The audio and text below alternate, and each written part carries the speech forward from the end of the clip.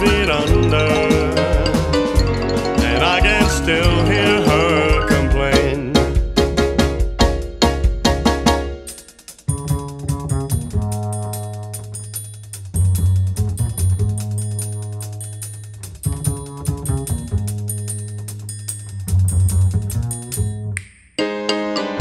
She bitched so much.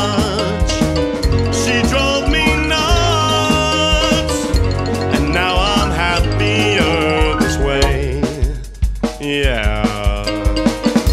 I knew I'd miss her, so I